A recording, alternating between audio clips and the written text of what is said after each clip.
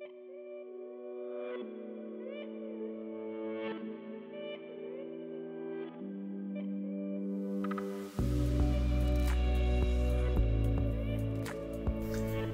everyone, and welcome back to the Tent of Abraham. I'm Tamir Kreisman from Israel, and this is Parashat Chukat.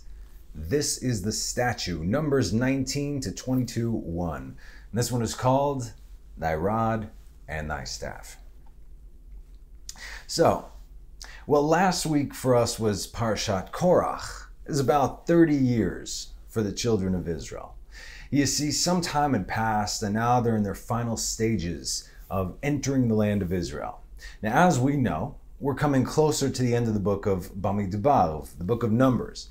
And then the book of Deuteronomy is about five weeks out from the timeline before the death of Moses. In the uh, parashot of the Torah, we know that there are stories, there are laws, there are secrets, there are morals, right? This parasha has them all. So the stories you can read for yourselves, as well as the laws do this, don't do that. The secrets I might be able to help and explain, but the, the morals, see, we live by these. This is really taking everything into account, putting it all together. These have to hit us so hard, really, for anything to count. And that's why 10 people can listen to the same class and it'll hit each and every one of them differently in their own individual way. It's for real God speaking to us on the most personal levels. This is our own personal vaikra, if you will. It's your call. God is calling to you within whatever words that are spoken. It's also the true reasoning behind what is seen. Just like reading about the sacrifices in Leviticus, I thoroughly enjoyed the study of the book of Leviticus this year. Although it may seem boring, most people around the world, Bible students, if you will, I call them Bible students because that's exactly what it is, they tend to skip over Leviticus because it's passe, it's not relevant. But the more you learn about it, the more you understand the purpose of each and every sacrifice. And what you take with you is a more general and yet a deeper understanding that God wishes to connect with his children through the sacrifices, which is why they are called korbanot, from the word karov, lehakriv, to draw near. That's you, not necessarily the animal. We also know that the ultimate purpose of all of creation is teshuvah. Within the word tshuva, which in modern day Hebrew means answer, she'elah is a question, tshuva is answer, comes the word lashuv, to return, to return to where we came from originally, both physically but also spiritually. Although we did not take part in the sin of Gan Eden in the Garden of Eden, we have the merit of fixing it, since the residue is still in the world. Each and every person has a uh, tikkun, a correction to make in this world to try and correct the first sin from the Garden of Eden. And that's why the words we read at the end of the book of Lamentations are so powerful. And it's one of the most difficult reads you're going to ever have to read in the Torah. It makes you, it's heartbreaking. Restore us to you, O, o Lord, that we may be restored renew our days as of old. Hashivenu Adonai elecha venashuva, chadesh yamenu kekedem. Everything is about returning, tshuva, rectification. Even when a sinless child is born into the world, this world has sin for that specific child to correct, whether they are being taken as children or grow up and complete their task. Maybe the second or third time around. Meaning that just like we discussed the opportunity for Datan and Aviram last week to come back as bulls to be sacrificed to glorify the name of God, which is the opposite of what, hap- of what happened. I, I realize many of you also have a problem with this, yes? The understanding this concept. So I'll try and explain it as simple as I can, the whole reincarnation thing, right? We do not understand the soul. Okay, we barely understand the physical human body, so give me a break with the whole soul. It's not just one thing, it's not a ghost in the shell type of situation. Okay, most of your soul isn't even here, it's there. Your whole, your soul is 100% um, uh, pure, it's 100% spirit, it's barely anything to do with this world. This is a physical world.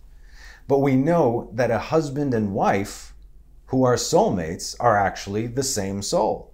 So, how could one soul be in more than one place at the same time? See what I'm saying? Because the soul is not bound by space and time. And if anything is not bound by space and time, you cannot fully grasp it because you are bound by space and time. So, no one can. So, we know that when you pray, for instance, you are not the same even five minutes later. You have just changed your position.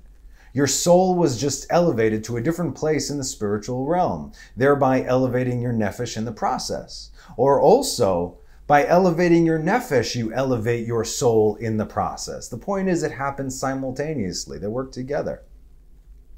This we may be able to somewhat comprehend. It makes a little bit more sense.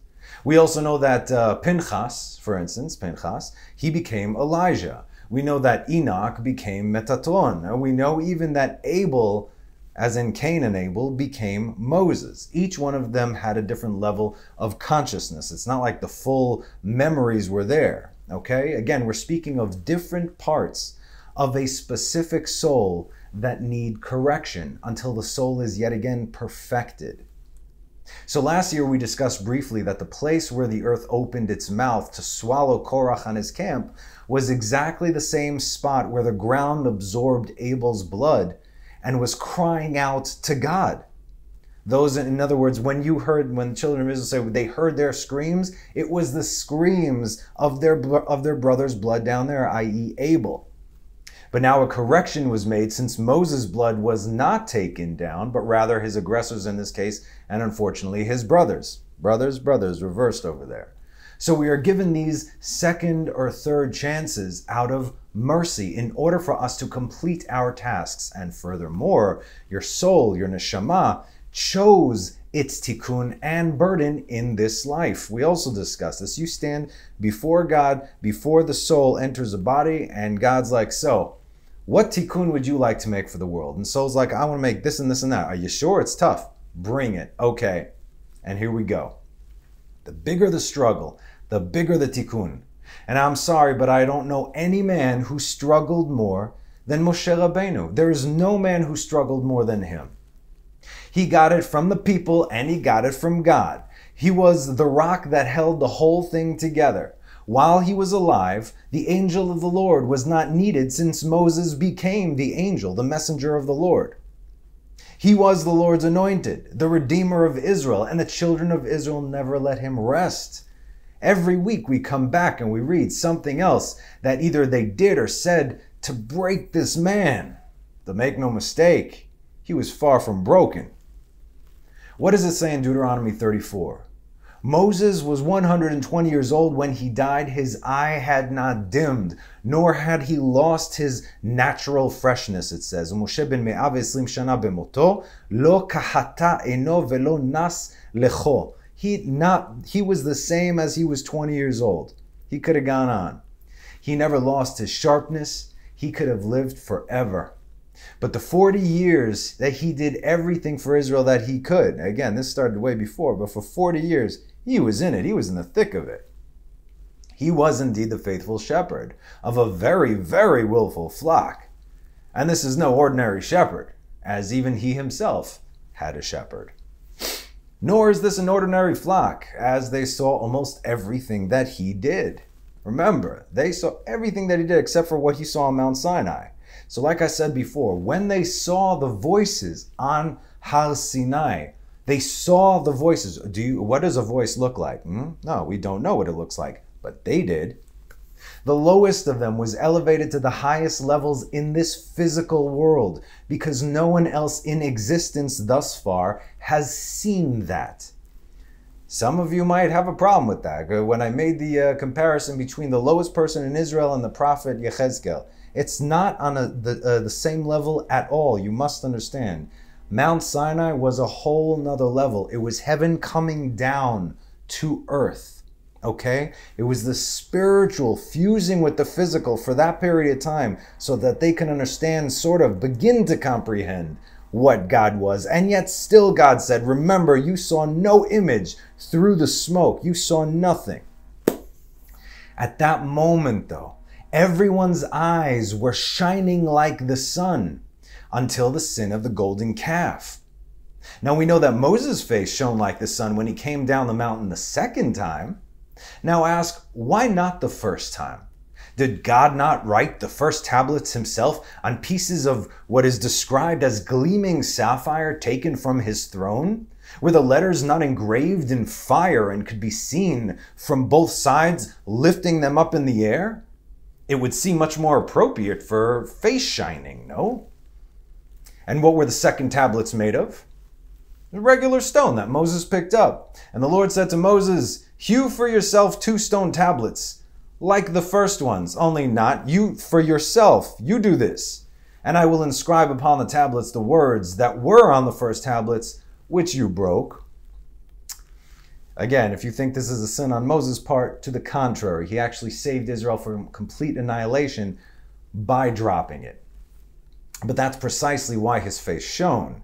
It's because he did the work together with God. This is what it is. Moses worked together with God. You get the canvas, son, and I'll paint you a really pretty picture. And his face was like this for 40 years until he died. The children of Israel could have been close to the same level as Moses. Not on the same level, obviously, but closer, way closer than what they were. But they didn't do the work.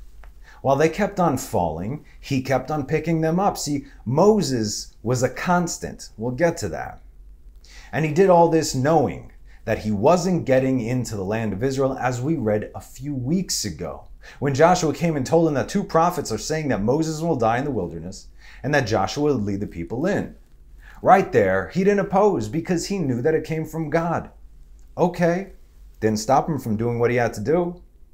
This is when Moses received an increase of the Spirit to give to the 70 elders, as we learned last week. Datan and Aviram were among them. They were righteous in their own way. We also learned absolutely two weeks ago the very reason Moses did not enter into the land. And the reason is not because he hit a rock. We went forward to the book of Deuteronomy, to the recount of Moses. For Moses recounts the situation and he says there it is clear as day Deuteronomy 135 If any of these men of this evil generation sees the good land which I swore to give to your forefathers, this is what he's telling the people, reminding them what happened 38 years ago, except Caleb the son of Yefuneh, he will see it, and I will give him the land he trod upon. And verse before that, he mentions, mentions Joshua, of course, and to his children, because he has completely followed the Lord.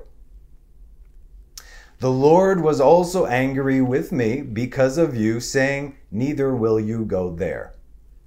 He was angry with me because of you. He was angry with me by extension of you because I am responsible for you. My life is tied to your life. This is non negotiable. This is the reason Moses did not enter. It says it right there. He was innocent, but it was because of his responsibility to the generation that he could not go on without them. So, Go ahead now. Ask the question. And yes, of course, I know what it says in our Parsha. Do you? Let's read Numbers 20, verse 12. Well, we'll start with 7. The Lord spoke to Moses, saying, Take the staff and assemble the congregation, you and your brother Aaron, and speak to the rock in their presence, so that it will give forth its water. You shall bring forth water from the rock, uh, and give the congregation and their livestock to drink. Moses took the staff from before the Lord as he had commanded him. Moses and Aaron assembled the congregation in front of the rock, and he said to them, Now listen, you rebels, can we draw water for you from this rock? Moses raised his hand and struck the rock with his staff twice. When an abundance of water gushed forth, and the congregation and their livestock drank. The Lord said to Moses and Aaron, Since you did not have faith in me, to sanctify me in the eyes of the children of Israel. Therefore, you shall not bring this assembly to the land which I give them. Does this make any sense to anyone? Do you see connections here? Because I sure don't. So if you say that this is it, I will prove you wrong, but we don't have to do that right now. Well, actually, we do have to do that right now. Anyway, you're saying, oh, I know, because Moses disobeyed God. He said, talk to the rock, and he hit the rock, and that's what happened. It's a special, hidden, super secret rock meaning. Yeah, I know what it says, but do you? So, Numbers 21. The Lord said to Moses, Make yourself a serpent and put it on a pole, and let whoever is bitten look at it and live.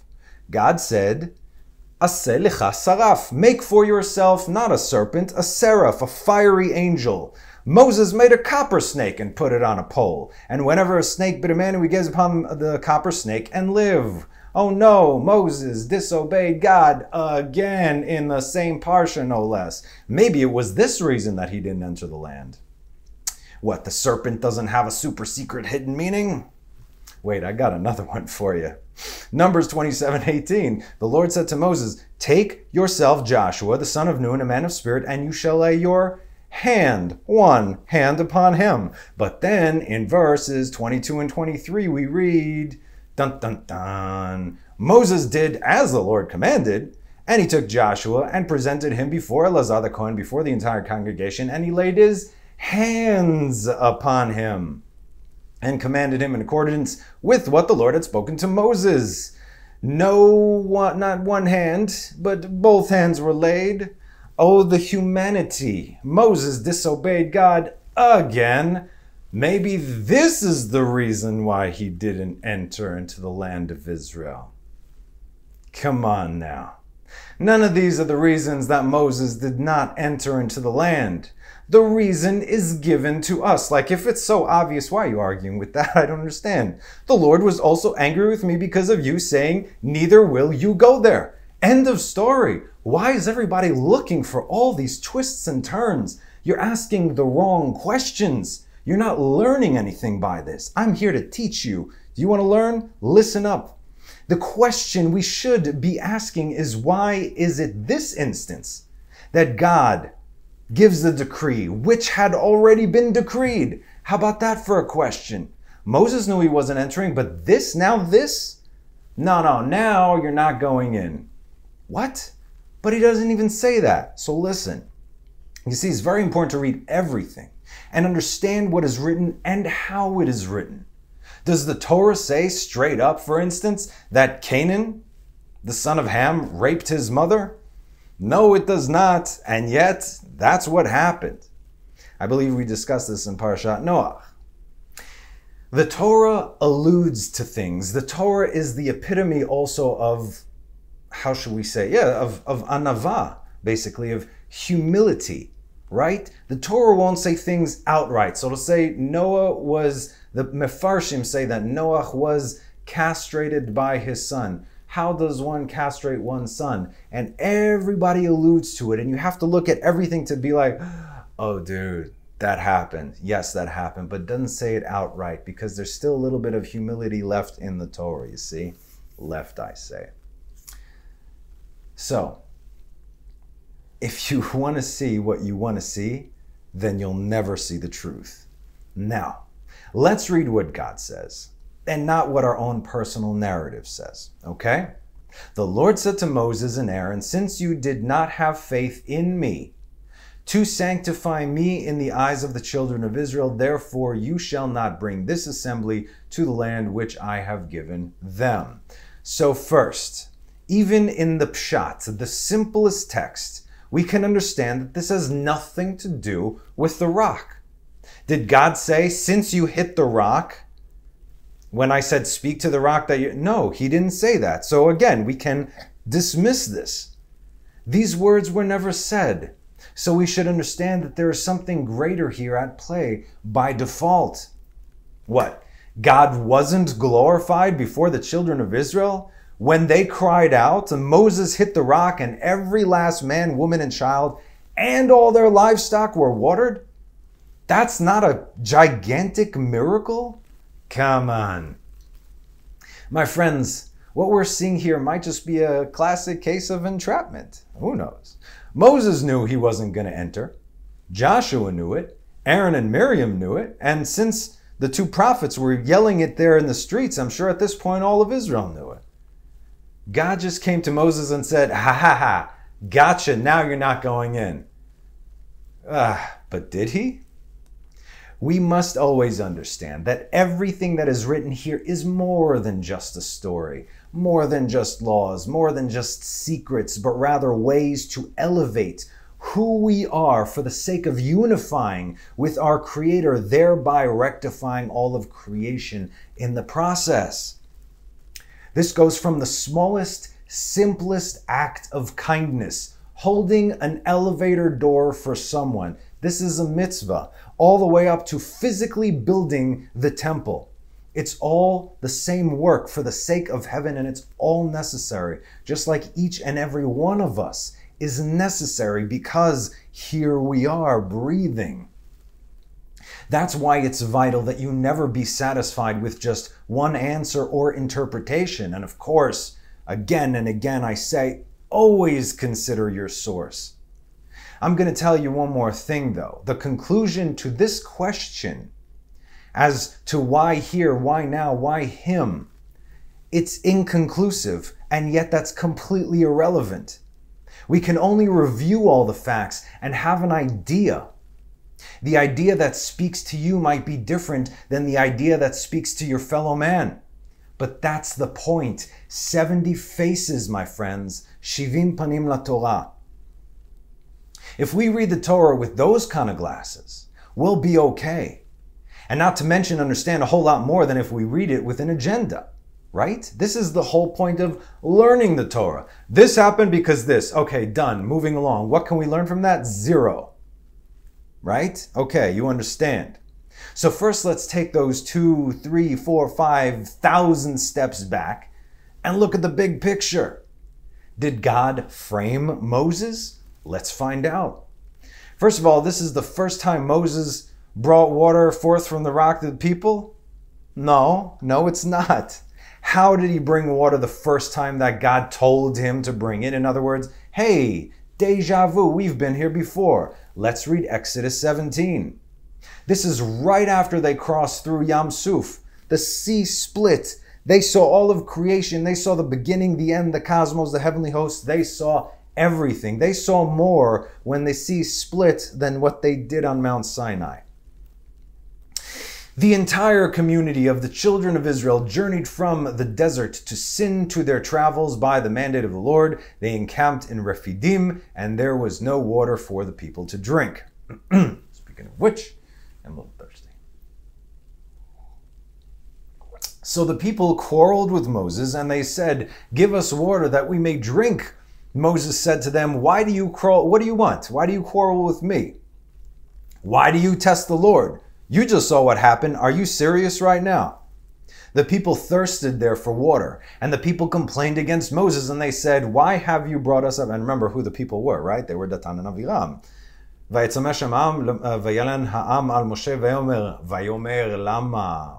did you bring us up ממצרים? To bring להמית אותי ואת בניי.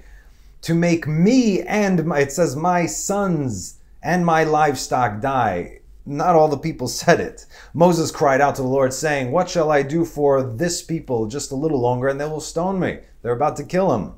And the Lord said to Moses, Pass before the people, and take with you some of the elders of Israel, and take in your hand your staff, with which you struck the Nile, asher hikita bo et kach be'adcha ve'alachta, and go. Behold, I shall stand there before you on the rock, in Horeb, and you shall strike the rock. Oh, look, Moses, take your staff, strike the rock, and water will come out, and the people will drink. Moses did so before the eyes of the elders of Israel. He named that place Massah, testing, and Merivah, quarreling, because of the quarrel of the children of Israel, and because of their testing the Lord, saying, Is the Lord in our midst or not? Okay, so this was Moses' first and last encounter with bringing water to the people when it came to a rock, since Miriam took up those duties shortly after. Miriam was their source of water. So Moses, who was a mortal man, a very awesome, powerful, and the most humble man, yet a man nonetheless, this was his experience with the children of Israel and water right after they experienced the splitting of the sea and what went down there. And we know by default that they were on such a low point here after this happened because in the very next verse, who comes into the picture? Amalek came and fought with Israel in Rephidim. Right there, right after this happened. Now, throughout history, Amalek attacks Israel either when we are divided or when we are spiritually weak. How do we know this? They attack the stragglers, the weak points, physically, and also your spiritual weakness. They come as temptations when you're lax. The points in your life that you are your weakest, they will be attacked and tested by the spirit of Amalek. And what is the purpose of Amalek? It's to separate us from God by any means necessary. Now, I'm just reminding you again about Amalek because it's a mitzvah to do so. So right now we are all sharing in a mitzvah, as it says in Deuteronomy 25, 17, Zechor et asher Amalek. You shall remember what Amalek did to you on the way when you were out of Egypt, when you went out of Egypt. What did he do? How he happened upon you on the way and cut all the stragglers at your rear, when you were faint and weary, and he did not fear God. אשר כרך בדרך ויזנב בך כל נכשלים אחריך ואתה עייף ויגע ולא יראה אלוהים. That's it. He was just doing his job, right? This is that's his opening right there. When you're weak and he can only attack if you invite him. Build your walls strong and fortify them with truth, not with agenda, not ego, and not feelings. Because that's like driving through a safari with a, you know, in a convertible, all right? It's most likely not going to end well for you. Anyway, all this happening here right now, this is all fresh in the mind of Moses. And speaking of Miriam, now let's fast forward 40 years, because this just happened 40 years later. Here we go. Chapter 20, verse 1. The entire congregation of the children of Israel arrived at the desert of Tzin in the first month, and the people settled in Kadesh. Miriam died there and was buried there. Moses and Aaron just buried their sister. What happens in verse 2? The congregation had no water, so they assembled against Moses and Aaron. Let's get into Moses' head now for a minute, or let's at least try to understand the psychology of the situation. Because we can't exactly get into his head, we're not even there, but let's put ourselves there, shall we? one of the greatest prophets to have ever lived, just left the world. It was in her merit that the rock brought forth water. And another, by the way, what your English Bibles won't tell you is that back in Exodus, the rock was called the Tzur, and here it's called the Selah, but you'll just read it as a rock, okay? So this is this one had meaning and that one had meaning, but everything has meaning, so that's not really saying much. So Miriam dies, and the whole and the and the whole uh, world had just lost out on one of the trifecta that was Moses, Aaron, and Miriam, and it showed because when she died, the water stopped. Just like we'll see when Aaron died, the clouds of glory disappeared. And that's when we see Amalek attack Israel because he thought, hey, I see a gap right there. Our enemy knows when we're good and when we're exposed, but we'll get to that a little bit later. So, Moses, who was way up here, okay? This is where Moses lives. He's here. Everybody else is like, kind of like, this is Moses. He is a constant, like I said. He was just brought way down emotionally, not spiritually, but emotionally speaking, because of the death of his sister. You have no idea what kind of bond these two had. We've learned that it was because of Miriam that Moses was even born. He and Aaron are mourning her loss. But then again, you have several million people right now to water. They're your responsibility, and many millions more of their livestock. So Moses was understandably upset and went and did what he did last time he hit the rock. Now, there are hundreds of interpretations here. Uh, Mamash, hun- hundreds of interpretations. Everybody's got an opinion, and they're all fantastic as to exactly what happened. But as I mentioned before, they're all inconclusive. And that's okay too. Welcome to Judaism. We know already from the text that this is absolutely not why Moses did not enter into the land. We already have established this. And now let's see why God chose this instance specifically to not only tell Moses that he wasn't going to enter, but also that Moses would not be forgiven. What? As we read in the future that Moses prayed to God several hundred prayers in Parashat Va'etchanan, I, I beg, I beseech the Lord to let me in, but he said no. We'll, we'll talk about that. We spoke about it last year, we'll talk about it again. But God wouldn't forgive him. Come on. I need to use these because I need you to understand that God does not go against his own word. We know this, okay? God doesn't change his word, just like Israel is God's firstborn son. That means God's firstborn son is Israel. That means there was no firstborn son before the firstborn son. There's only his firstborn son. You only get one firstborn son, and that's Israel. You see what I'm saying? Okay. So, and if God says, when you do teshuvah, you are forgiven, right? So what? Moses didn't know how to do tshuva? God refused to forgive him? That's absolutely absurd if you believe that. Now, I mentioned the real reason why in the teachings of the death of Moses. Of course, God would forgive Moses, but that's not why he didn't enter. God never told Moses that he would enter from the beginning. He told him that he would take them out of Egypt and lead them to the promised land. Okay, so right here, there was a pause. Okay, I'm letting you in on something. There was a pause in my study right when I got to this point. I'm like, wait a minute, okay, something just hit me, stared me in the face all along.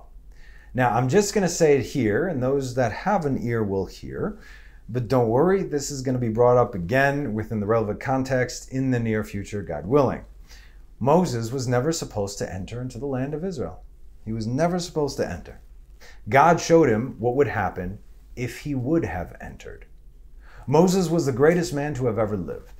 And if he were to enter, he would have beelined it right to Mount Moriah, burning anyone who stood in his way and he would have built the third temple. Yes, the third temple. The third temple comes from up there.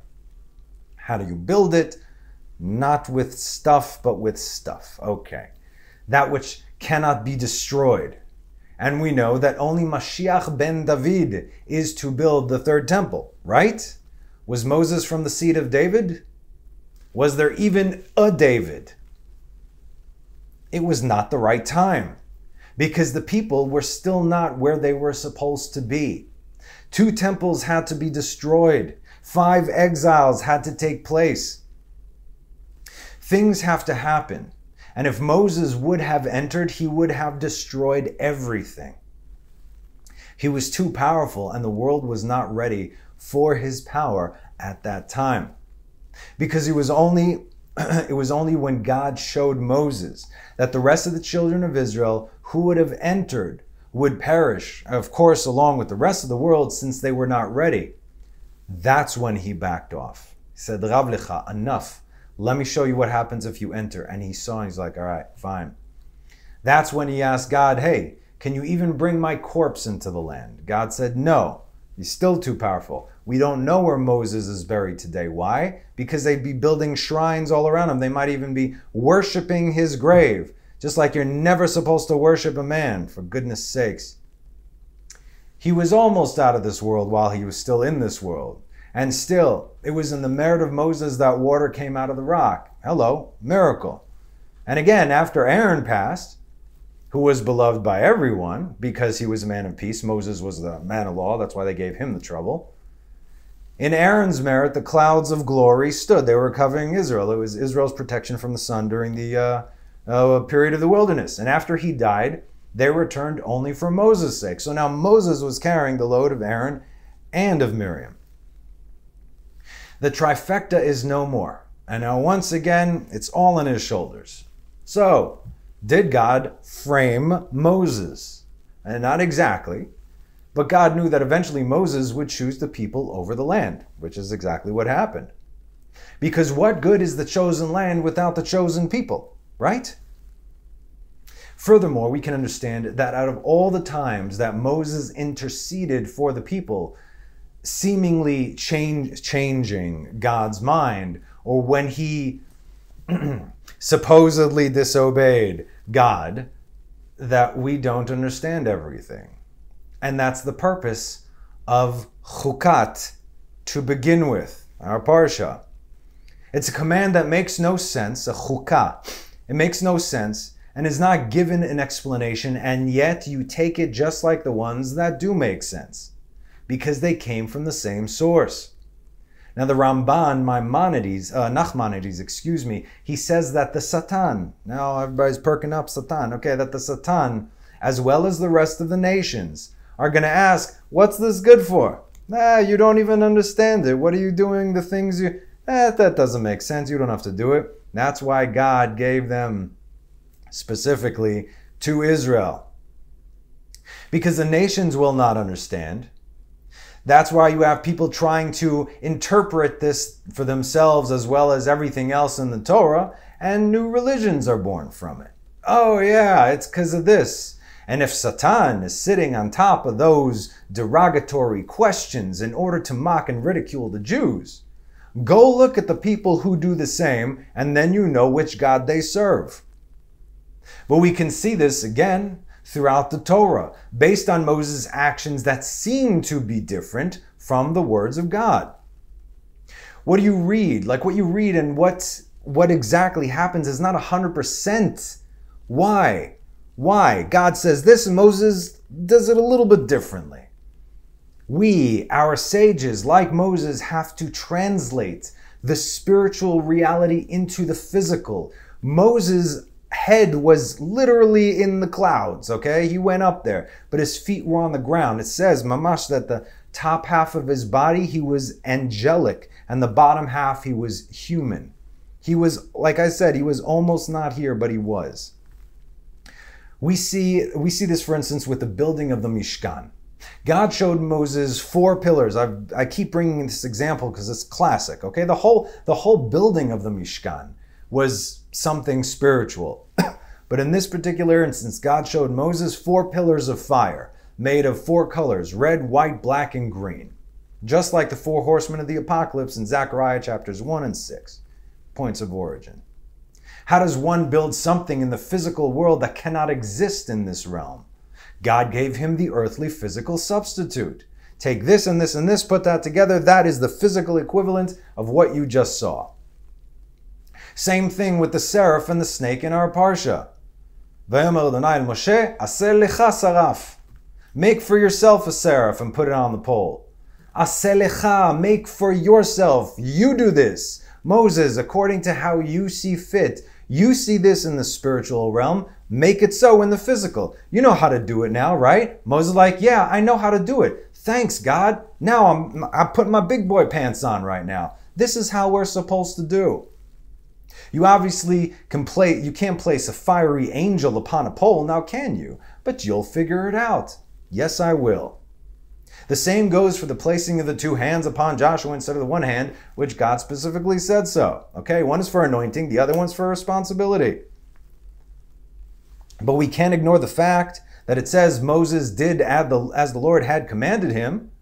He laid his hands upon him and commanded him in accordance with what the Lord had spoken to Moses. You see? But you think Moses, what, disobeying God left and right? So easily you say this? Watch who you're speaking of. You see, you have to be very, very careful to challenge Moses, especially the sages, and dismiss their words or their actions so easily. They speak the word of God and understand it in the way that you or I or anyone else alive today could not even begin to comprehend. And why do you think they did all this? What, you think that they didn't know that the heavens have a magnifying glass on them? And God forbid they make a wrong decree that's not according to the Torah, where you think they loosely said, do this, or this means this, or this means that. And you come along and you're like, oh, you know what? Nah, nah, I don't, okay, okay, hey, that's on you. But we're here to learn. Because if you truly want to know how to use this book called the Torah, you need divine commentary by our sages. Otherwise, I refer you back to Parashat Mishpatim, an eye for an eye, and by all means, go grab the sharpest knife you got in your kitchen and circumcise your own heart. Because that's what it says, literally. Lucky our sages came along and said, no, that's not exactly what it means. Psalms 115, 16, the heavens The heavens are heavens of the Lord, but the earth he gave to the children of men. Hashamayim shamayim la'adonai, ve'aretz natan livne adam. We can only do the very best that we can do with the tools that we have been given. It's not going to look uh, it's not going to look like it does in heaven, obviously, because it's not supposed to look like it does in heaven. It's supposed to be the physical image of the spiritual image, the spirit manifesting in the physical.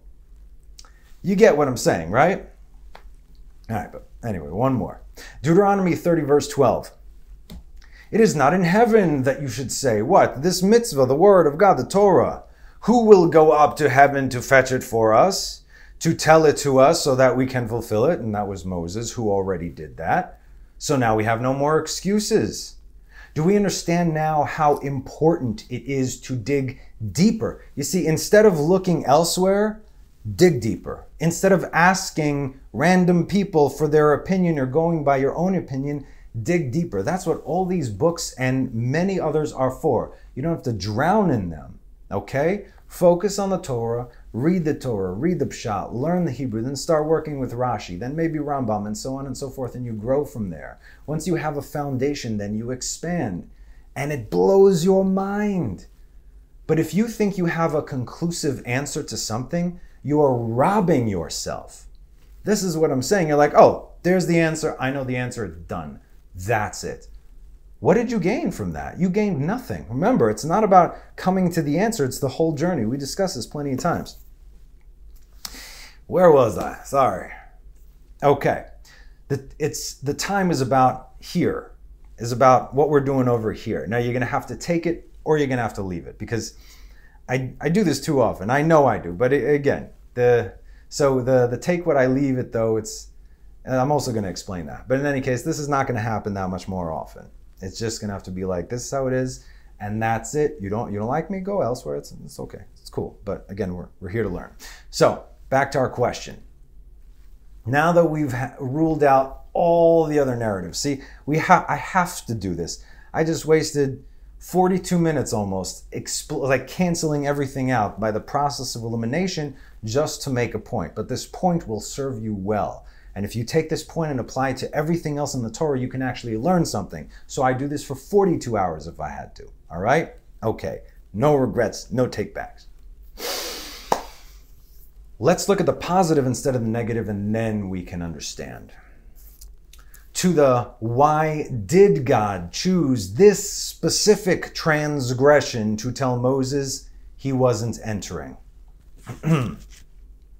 Now, this is a thought that has been brought in from everything that we've learned today. If you've listened to everything, you'll understand this. If you've been paying attention, if you've read the Parsha, as well as if you've been with us for a while, you really may just get it. Now, this one was for the people's sake. I mean, this one in the Parsha, this was done for the people's sake. God used Moses as he as he is right to do so to elevate the children of Israel who were about to enter into the land. Moses didn't screw up when he did what he knew how to do, which was hit the rock for water. God said, Speak, okay, so I hit the rock for water, but really, what's the big deal? Okay. God taught Moses, and by extension, us, a very valuable lesson here. Verse 10 Moses and Aaron assembled the congregation in front of the rock, and he said to them, Now listen, you rebels. Okay. The Hebrew says, Shim'u, lishma, shim'u na, please listen. Hamorim. Hamina sela ze notzi lachem maim? Sela, rock. It's not, but whatever. Hamorim, oddly enough, in modern day Hebrew means the teachers. More is teacher. Morim, teachers, plural. Also, exactly, it's the same spelling as Miriam. Wouldn't you know? So, read this again. The Lord spoke to Moses, saying, This is verse 7 Take the staff. Okay, got the staff. Why would God specifically tell him to take the staff if he was not to use the staff? Verse 9 Moses took the staff from before the Lord as he had commanded him. He took the staff. Moses and Aaron assembled the, con- assembled the congregation. He said what he said. Verse 11, he raised his hand, he struck the rock, he did what he did. But how did he use the staff? Take the staff, but don't use the staff? Mm. I'll give you a little hint. It's in the title. Even when I walk in the, sha- in the valley of the shadow of death, I will fear no evil, for you are with me, your rod and your staff, they comfort me. Moses used the staff, take the staff, as a rod. Now, if you've missed this teaching, we actually discussed this in the past. I'm sorry, I can't remember where. That a staff and a rod, they're the same stick, right? It all depends on how you use it. A staff leads from the front and guides from the back, while a rod smacks from the top. It's whack, whack, right? When the Hebrew said vayach et hasela, it comes from the word makah, vayach, ka, makah. Also can be compared to Exodus 2:12, back to Moses. He turned this way, turned that way. He saw that there was no man, so he struck the Egyptian. Same word, vayfen kovako, vayre ki ein ish, vayach et hamitzri, vayach et asela. Aseret hamakot, the ten strikes. But for some reason we translate it in English to the ten plagues, which in Hebrew would be called magefa. Plague is magefa. Aseret hamagefot. But it wasn't plagues, it was makot. Specifically, they're called makot. So he called them rebels and he used the staff as a rod. Now, don't get me wrong, I fully believe in correcting your child with a rod when necessary. It doesn't mean that the parents don't love the children, it just means that the child did something so foolish that if they don't get that smack, could eventually harm them. When does the shepherd use his rod? When the sheep is willful does not adhere to the guiding staff, and is about to walk off a cliff. Wake up, snap out of it. You want to see what an entire generation that have been spared the rod due to political correctness looks like? Turn on your TV or look out your window wherever you are. But yeah, straight up. Their parents already missed the opportunity, but God still has a rod, don't worry. And that thing is coming down right now and you do not want to be around when it hits. He who holds back his rod hates his son, but he who loves him disciplines him early. As in, be, if you do that, it's not going to be good. Better this than uh, that. That rod was used to discipline Egypt, and that rod was used to discipline the children of Israel for 40 years. It was a staff used as a rod. But the time for smacking the children of Israel was over. And why? Did they not just rise up against Moses and Aaron, just as they did 40 years ago? So what changed? Again, let's start with the process of elimination. One, did God change? Of course not. God never changes. Did Moses change? Of course not. He was who he was until the end. Remember, Moses lives up here. Here we go. And he died right here. Three, did the scenario change? thirsty, complaining, rock, water. Hmm, same scenario. So that didn't change. In fact, it would seem that almost the exact same situation had been set up for the children of Israel to go through it again. That's called a tikkun, kids. So what changed? The people changed. These were not the same children of Israel who left Egypt who sinned at Masan Meribah, who sinned with the golden calf, who sinned with the spies, who sinned with Korach. That was 38 years ago, son. These are their kids ish, the next generation who learned from the previous generation's mistakes, and as a result, they are no longer kids, nor should, nor should they be treated as such. Sometimes you need to use your words and not just, mm, ah, talk to me. Tell me what's up. Gotcha. This is the generation that God deemed worthy of entering the land of Israel. They were all grown up and they were all grown up. Hold on now. Grown ups make mistakes too, you know. All right? Yeah, yeah, yeah. What? You think just because you know what to do that you do it? Or you think that just because you know what not to do, that you don't do that? You think that just because they were grown-ups, that they don't whine and complain and act like spoiled brats sometimes? I do. I mean, I, I do. But it's not about how we act because we all act like this from time to time. Hopefully, not all the time, but you know, it happens.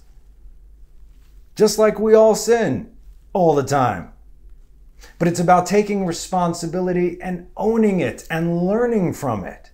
It's about knowing who you are and using that. It's about coming into your fullness and understanding the process of submission, obedience, and humility, all the while understanding the correction process through humility, sub- obedience, and submission. And how do we know this? We see this at least twice come into fruition in this parsha. This is right after Aaron dies. The Canaanite king of Arad, who lives in the south, heard that Israel had come by the route of the spies, and he waged war against Israel and took from them a captive. We're not going to get into that details, but who was this Canaanite king? This was Amalek, and how do we know this? 1329. Back, uh, Numbers 1329 chapter 13, verse 29, the incident with the spies. The Amalekites dwell in the southland. The Canaanite king of Arad, who lived in the south. And what did he hear? That they were coming close? No. That's for the same people who think that this is why Moses didn't enter the land. The whole world had their eyes on Israel. And just as they do today, nothing has changed, especially not Amalek. And when they saw that the clouds of glory, which acted as their protection, had left them due to Aaron's death, which they didn't necessarily know about, they said, Aha! They must be vulnerable. Let's go get them.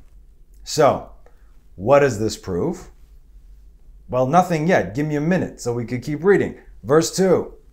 Israel made a vow to the Lord and said, If you deliver, the, if you deliver this people into my hand, I shall consecrate their cities. Israel is not Moses. Israel is not Joshua. Israel is not the 70 elders. Israel is all of Israel. Deliver this people into my hand.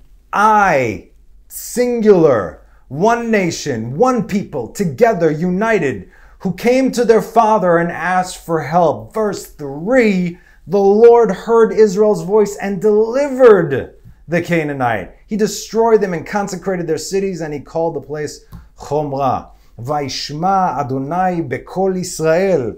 And God listened and did as they asked. Lekol, uh, bakol, not lekol. Meaning he didn't only hear them, uh huh, uh huh, okay, but he listened to them and he did it. These are not the same people that Moses took out of Egypt, who sinned at Massah and Meribah, who sinned with the golden calf, who sinned with the spice, who sinned with Korach. Even if they actually are the same ones, they have changed, they have grown, they have matured. We cannot even begin to comprehend the power that has been given to us when we unite as one. Okay, one more. One verse later, they're at it again. They journeyed from Mount Hor by way of the Red Sea to circle the land of Edom, and the people became disheartened because of the way. Here's your staff. I'm going to lead you here. Okay, thank you, thank you. The people spoke against Mo- uh, God and Moses, spoke against God and against Moses. Why have you brought us out of Egypt? Da, da, da. Your usual shenanigans. Okay, the Lord sent against the people venomous snakes immediately. No time to waste and they bit the people, and many of the people of Israel died. Here's your rod. Smack. Why? What? Wait for it. Verse 7, the next verse. The people came to Moses and said, We have sinned, for we have spoken against the Lord. They sinned against the Lord, they sinned against Moses. We have sinned against the Lord, and we have sinned against you. Oh, wow. Pray to the Lord that he remove the snakes from us or rather the snake. We did a whole study last year. So Moses prayed on behalf of the people. So, oh my goodness. Did the people just realize the error of their ways and come to the proper order to ask for forgiveness from God and then Moses? Heal my children! The Lord said to Moses, Make yourself a serpent and put it on a pole and let whoever is bitten look at it and live. Moses made a copper snake, we already discussed, put it on a pole, and whenever a snake bit a man, he would gaze upon the copper snake and live. Live, I say. The story, the law, the secret, the lesson is that there is a time for the rod and that there's a time for the staff. Even those who are Torah scholars can fall, just like a person who doesn't know how to read or write. Because we are all people. We are human. Again, don't forget the concept of tshuva. We fall so we can get up. But if we recognize what is what, if we understand who we as individuals are and where we as individuals stand, which is part of something so much greater than our own individuality, and understand what comes, comes from God, then it'll help us to appropriately move according to the times and according to that we have as individuals are called to do, which is ultimately lead us back to Israel each person according to their own design.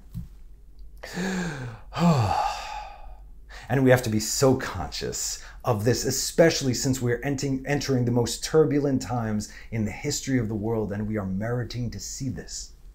So, the rod or the staff, what do you want? Tell you what, though, I'm going to give you the answer to this. The correct answer is you absolutely want them both.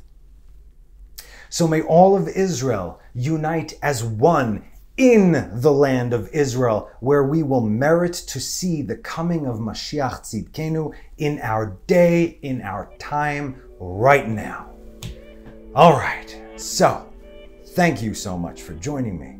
Have a wonderful rest of the week and have a Shabbat Shalom. Bye bye.